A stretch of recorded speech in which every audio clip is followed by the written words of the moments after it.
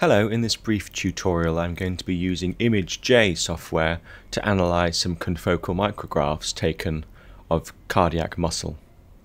So this is ImageJ and I have it loaded on my Mac computer and this is an image taken staining using the wheat germ agglutinin stain using Alexa Fluor 488 that allows me to visualize the cell membranes of cardiac myocytes.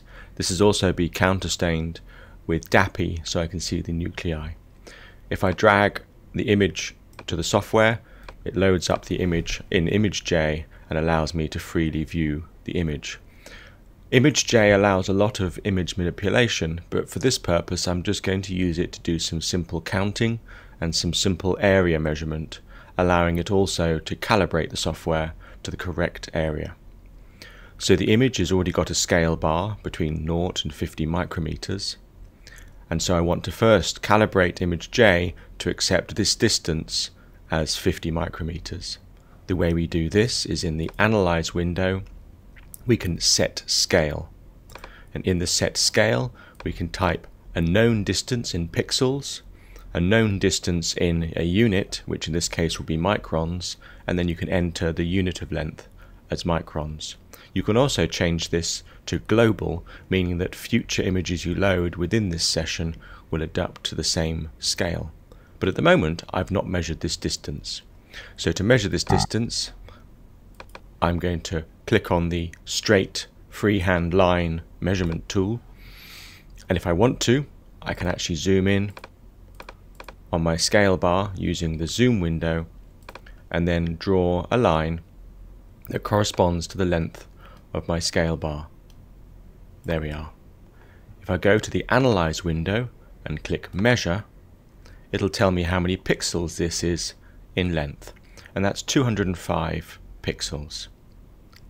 I can leave the results window on the screen. So now if I zoom back out again, and to zoom out you press the right mouse button, to zoom in you can press the left mouse button.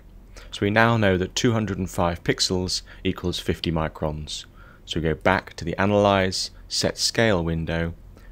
Of course, this is the last measurement I took, so it's automatically entered this number into the Set Scale window. But I'm going to just take away those decimal places. And I'm going to change the unit of distance to micrometers. And the known distance in this case it says down here is 50 micrometers. So it now knows that it's 4.1 pixels per micrometer. I'll click on global and press OK so now just to confirm that this works I can zoom in on my scale bar I can go to analyze and measure again and it tells me that the length of my scale bar is 50 microns, 50 units. So we know now that the scale has worked. So I can zoom back out again.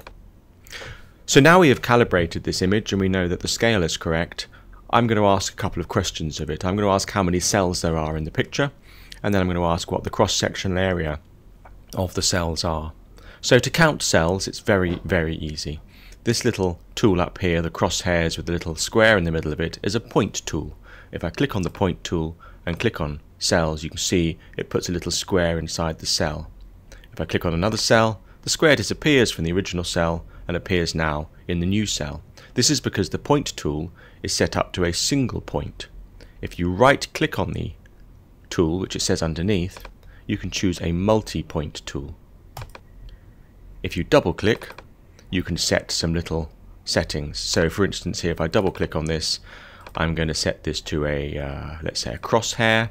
I'm going to change the color to uh, color we haven't got on the screen, so uh, let's go red.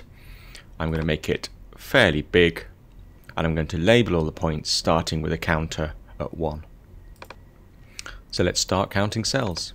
As you can see, as I click on a cell, it puts a crosshair in that cell, counting the cell, and I can continue clicking all over my image until I've counted all of the available cells. I won't waste any more of your time by doing this for the whole image, but you can see very clearly that just by clicking through, if you think you've missed one, you can go back. And the final one you click on will be the total number of cells in this image. So if you're calculating cells per high field view or something like that, you can just use this. So that's a very simple way of doing that. So let's just say we finished with this image, we finished with the measurement tool, and we're not going to save the measurements. So I can drag this image back on again, and let's just check that the scale has worked. Yep, 4.1 pixels is 1 micron. Because we clicked on global, it saved our settings. So now we want to measure cross-sectional area of these cells. This would involve measuring the walls, so the membranes we have here, these yellow lines, and you can do that with your mouse. Obviously this does require a little bit of mouse skill, uh, and I'm sure you've all practiced using your mice, but um, I'm just going to zoom in for a second on a small area, this area here, and I'm going to center that using the hand tool, there we are, and I'm going to measure the cross-section area of this little group of cells here. Of course, if you're doing this um, for your research or your experimental purposes, you would measure the cross-sectional area of all the cells. So the tool we want to do the cross-sectional area is the freehand selection tool, this thing that looks like a little kidney bean lying on its back. If you click on the freehand selection tool, there is no right click option, there is no double click option, it is just a tool for drawing. And then you start drawing.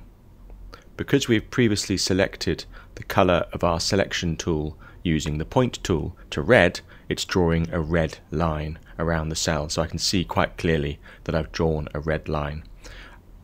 Unfortunately, the default color for these lines is yellow and in the system that we're using with our confocal microscope we use the WGA Alexa 488 conjugated stain which happens to on our confocal come up as yellow. We could of course pseudo color to another color but we like the look of yellow. So the default color being yellow gets a little bit frustrating to see but because I've already changed the default color when I change the multi-point tool to red you can see it's changed to red. However, if you go to the um, options window, which is under the edit menu, and you change the colors, you can see here we can change the selection to any color you want. But I can leave it at red because I think red's a good color. So we've selected this area and we now want to measure the area within this selection. So we go to Analyze and Measure. And it's 440 square micrometers. So that's our first cell measured. Now, if I went to start measuring another cell over here, I might lose this cell, I might forget I've measured this cell.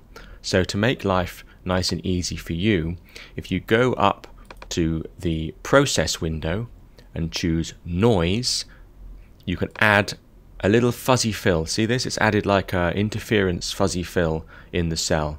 So when I start going to the second cell and drawing around the second cell, which I'm doing roughly here, you'll see that the first cell is still filled in fuzzy, the new cell has been drawn around, I can measure the new cell, add some noise, and then move on to the other cells.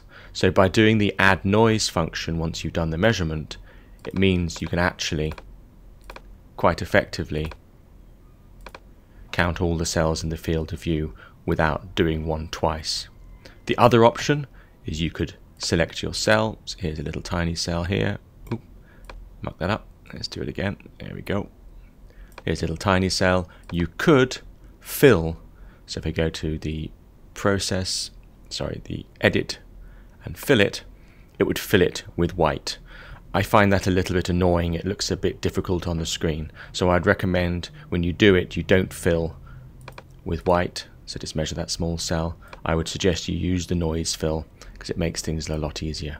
So now I can go around my entire image and do the rest of the cells. And you can see, even when zoomed out, you can clearly see the cells that have been filled with the speckledy colour, and you can then count all the cells.